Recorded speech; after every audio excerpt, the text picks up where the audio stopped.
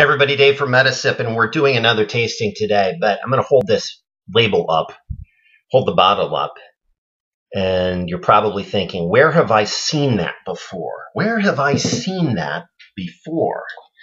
Well, I'll let you in on a little secret. Um, you have seen it before if you've shopped at one of those places that uh, people don't want to admit they shop at. So this is oak leaf. It is a Merlot and as I thought, it is uh, non-vintage. Um, I'm tipping my hand just a little bit because I'm laughing. It's a non-vintage Merlot, and one of the other things that I, when I first saw this in the store, I thought was kind of misleading. Look there, it says 90 plus in the bottle, and then in, in small letters it says medals. So if you're familiar with that 100 point rating system uh, that's out there, Robert Parker is probably the the biggest proponent of that.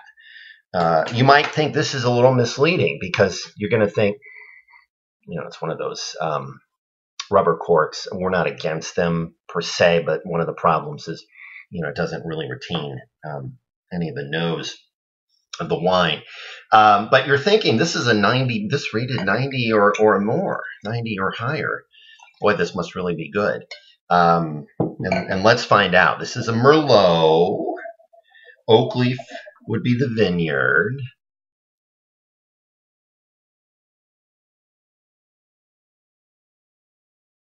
Do I look puzzled to you?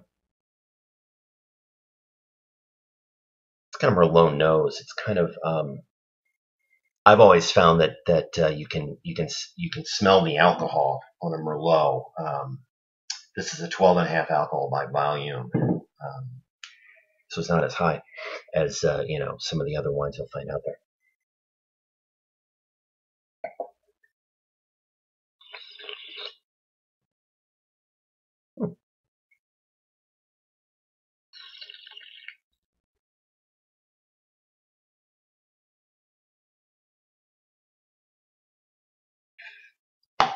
Guys, this wine's from Walmart.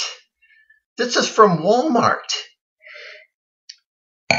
Okay, I'm I'm I'm surprised. I am surprised because uh, does this drink like it's a hundred dollar bottle? No, absolutely not.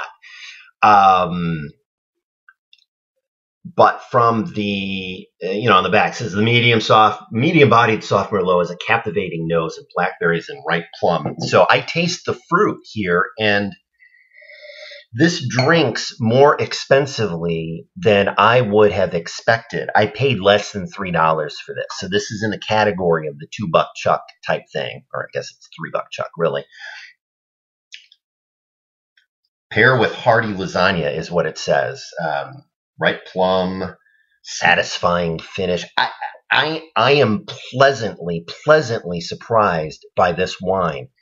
Um, Wait, I actually just sipped it as opposed to um, spitting it out. Sorry about that.